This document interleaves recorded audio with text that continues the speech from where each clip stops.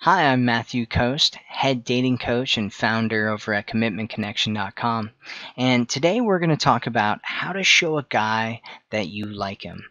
So, if you're not really sure how to show a guy that you are interested in him or that you like him or uh, that you uh, want to hang out with him more or something or that you want him to, you know, start talking to you or ask you out, then here's how to uh, show a guy that you like him.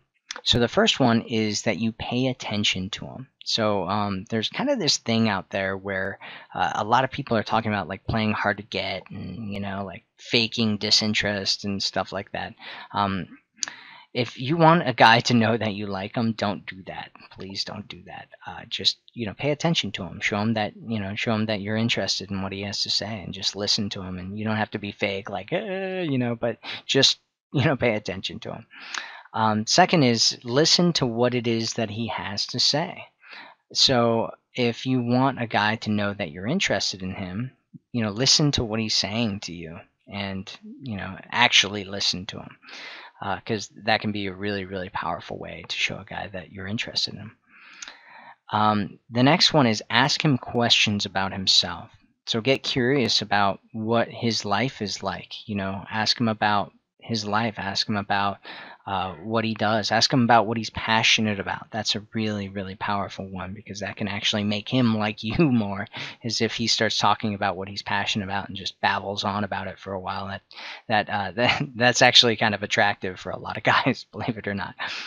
Um, the next one is touching him lightly. So uh, this can actually be really hot like really really attractive to a guy is if you touch him lightly like touching him uh, on his hand you know just initially or touching him on his shoulder initially um, but even more so like touching him on his chest or touching him in places that are vulnerable like his ribs or like uh, um, his arm like the inside of his arm you know, like around his bicep, like that's really, really attractive. Or touching him on the leg, uh, that can be really, really uh, attractive as well um, and it shows that you like them, so that's a good thing.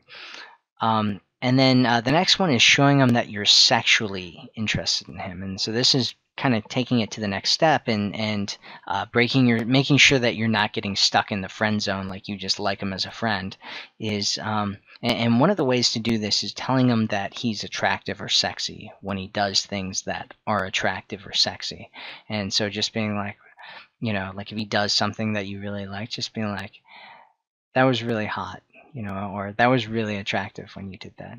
You know, like um, not only does it show that you're attracted to him, but it's actually attractive to him as well, and um, it, it's taking it to that sexual level, so it makes him go, oh, like oh, there's something else going on here. Um, which is really cool.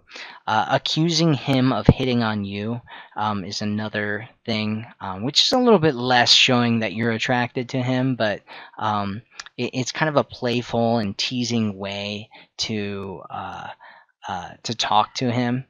And it's uh, it can be really really powerful. Just to, you know when he does something, just accusing him of hitting on you, being like, "Oh, did you just?" or recognizing it if he does hit on you, being like, "Did you just hit on me? That's so cute." You know that can be uh, really attractive as well. Um, complimenting complimenting him uh, when he acts manly around you. So being like, "Oh man, you're that was that was so manly," or like, "You're such a man around," like th- that kind of thing. It, it I don't know. Sometimes it seems like it might sound a little cheesy, but it, it's actually really attractive to a guy when you when you tell him that he's really manly or you know he's he's uh, you know being your man or being such a, a man around you. It, it can be really really attractive to a guy.